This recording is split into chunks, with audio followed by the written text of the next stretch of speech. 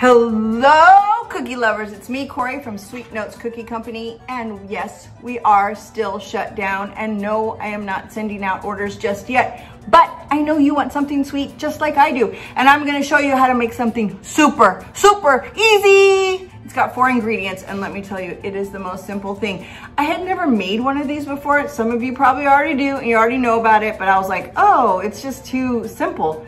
It is delicious. It is delicious. It is a dump cake. If you've never had a dump cake, you are missing out. I thought, eh, it's too simple. I want to be fancy and go and get all the stuff and measure out my baking soda, my bacon. No, no, no. This is the easiest cake ever. It's super delicious.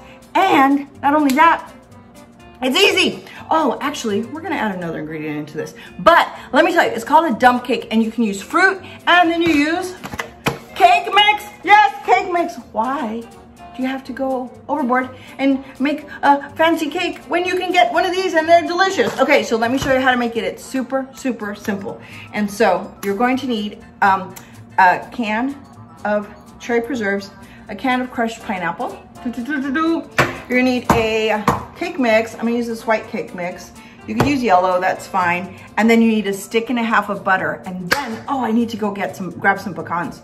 And so um, then we're gonna top that off. And so it's just layered, layered, layered. Oh, I hear somebody moving. You're gonna get me some pecans? There are people in the house because everybody has people in their house right now. But let's go ahead and make this cake. Super easy. Okay, so here's a can of, you don't, look, okay, say You're gonna need like a 13 by 9 inch either a glass one or a metal one or whatever, but this is one that I like. And so you don't need to butter this or anything. So you get the can of cherries, yum, because we love cherries. And then you just dump it, dump it, dump it, dump it, dump it, dump it in here. All the stuff, all the goodness, you wanna get all that goop out here. I'm literally gonna make this cake. Thank you, sir. My friend, lovely assistant brought me some pecans. So there he is. Um, so you're gonna dump this stuff in there, that whole can of uh, cherry pie filling. And I know cherry pie cherries are usually tart, but we're gonna sweeten this up with that pineapple. So I just, I'm just scraping it all because I want all that goop in there. So then we've got this in here, you can see, and then you're just gonna spread it out, spread it out, spread it out, spread it out, spread it out. Super easy.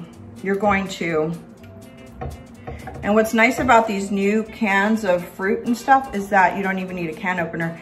They have that lid that you can pull right off of there. So you see, I just spread it on the bottom. It doesn't quite cover the whole thing, but that's okay because we're gonna add some more stuff. So then we're going to get can of crushed pineapple. And we're gonna do that as well. Open that up. And so this stuff is really sweet. So it balances out the tartness of the pineapples. And it's got juice in it. You're, you're gonna want that juice in there. So you're not gonna wanna, you don't have to drain it or anything because that juice is actually gonna help us. Um, it's gonna soak up that cake and it's gonna make it all bubbly and good. And so we're gonna spread, spread, spread, spread, spread, spread, spread this out. And so now we just have a layer covering the bottom. You can see I just have that pineapple and that cherry right there on top. Now, you guys, you're not gonna believe this. So easy. I know those of you who have done this before are gonna be like, yeah, I've known this all my life. My grandma used to make these, but I just, my grandma didn't. And I just learned in there, it's cake mix. You don't have to prepare it. You don't have to nothing it. You just open it and you dump this there too. Now, I can't go without taking an extra step because you don't need to do this extra step, but I I'm a little bit cuckoo when it comes to this. So I'm going to actually sift this right over the top. And it's just the dry cake mix. You don't have to sift it. If you don't have a sifter, that's fine. But I like to do it just because, I don't know, it makes me feel like I'm being fancy or something. I don't know. Or maybe just got that extra little step because I've always learned that you always sift. Look, there's, see, there's like a little something in there, a little one in there. That's smart. Um, you always sift it to get a fluffier cake. This is all gonna get all gooey and goopy and nice and, you know, mixed up. So um, you don't have to do this extra step, but I like to do it. Now, this stuff is gonna sit right on top of the fruit. You do not need to mix it in or anything like that. You'll see how it turns out. This is the easiest. So then, like I said, if you don't want to go that extra step, don't. So this is just a cake mix. You can use white cake mix. You can use um, a lemon cake mix. I'm gonna make another one I've been wanting to do with blueberries, mmm, blueberries, and lemon uh, cake mix. And, um, but somebody in this house really likes cherry. That little person's in this room right now, yes? Yeah. Yes, we love cherry. So see, I have all these little sugar granules. I'm gonna kind of get them through there, but eh, that's good enough. All right, so that's it. So then this is just that powder on top. And so I'm gonna kind of try to evenly spread that on top of my, okay, on top of that fruit. You don't need to mix it. You don't mix it. Remember, this is just kind of dumped one layer on top of the other layer. So there you go. You got that. It's all spread evenly in there. There's kind of scooch it down.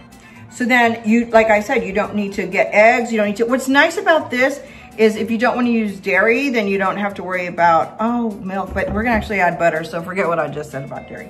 I guess, um, so yeah, this is, all right, so that's on top of the fruit, and it's still, it's still dry, but what we're gonna do is you take a stick and a half. Now, some recipes say a stick, but why use a stick when you can use a stick and a half?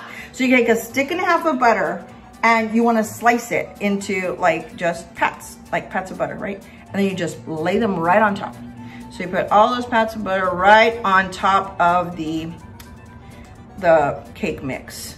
So I did not mix the cake mix in um, into it. It's just gonna sit right on top. So what's gonna happen is when this is in the oven, I've already preheated my oven to 350. This is gonna get all bubbly. Like some of the, this butter obviously is going to melt and it's gonna soak down into the cake mix. And then the fruit under is gonna like bubble up and ugh, ugh, ugh, so good. So that was half a stick and I still got a, a whole nother stick to go. So we're gonna put all of that and it should cover pretty much the whole top. They don't have to be right next to each other or you can just, but you don't wanna lay them on top of each other. Um, I've seen recipes that say to melt this butter and put it in there. I've seen it where you mix the, the butter and the uh, powder um, cake in a separate bowl, but I've tried that and it, it didn't come out too well. This actually, this is the original method that I've seen in the oldest recipes that I've been able to find and it works best. So, you know, trust that grandma that told you to just do it that way and not worry about it. So now I've got all my butter. I'll, I'll pick this up so you can see it. That's as easy as it is, guys, except we like one more thing in here. You can leave it like that. Um, like I said, I'm gonna do another one also with peaches. So I got some canned peaches. I, I was, I was, uh, I found another recipe that said use canned peaches in syrup, and then it's that juice is gonna kind of help um, bubble up in there because you need do need some liquid. You don't want to use like too much too much thickness. So you don't want to use two two of these pie things. You want to add a little bit of. So look, you can see right there that that's on top, and that's it. Except we like pecans. So one more thing we're gonna add on top because it's kind of, this is a, this is definitely a mushy cake. This is not a cake you're gonna be able to slice and serve all pretty. You're gonna scoop this out when it's ready, you'll see. And then you put some, I've seen recipes that say use whipped cream. Ice cream's the way to go. You're gonna wanna scoop this stuff out, put some ice cream on there and ugh, delicious, right Sal? Yes, he said, mm-hmm, in case you didn't hear him. So we like pecans. You can toast these or not, whatever. I don't wanna go through the extra steps, so I'm just gonna top this off with sprinkle some pecans on it. That is it, guys. That is how you make this cake. And then you're gonna pop this into an oven, 350 degrees for about 45 minutes. Uh, it sometimes, it takes up to an hour. It really depends on your oven and it depends on uh, it, whether it's metal or glass or something like that. So after 45 minutes, you wanna check it and uh, you'll be able to see when the cake is kind of uh, it's still gonna be bubbly. You don't want it to be completely dry, but um, we'll check back in a little bit. But look, this is what it looks like. Yum, yum, yum, that's it. So now it goes into the oven for 45 minutes and then we will see what it looks like. Okie doke, okie doke, okie doke. See you in a little bit. Hello, cookie lovers. Look, it's been 45 minutes and it's bubbly and lovely and yummy, but it needs to be a little more brown in the center. So I'm gonna pop it back in there for about, I don't know, 10 more minutes and then check it again, but it smells delicious in this house. Okay, this is the color you want. Some of it is a little bit, a little bit lighter because of the butter, and then some of it is golden brown, and it's still bubbling and yummy, yummy, yummy. Smells so good. So I'm gonna let that cool down a little while we have dinner, and then we're gonna scoop it and put some ice cream on it and have that for dessert. I can't wait. It's delicious. Look at it, still bubbling. So good.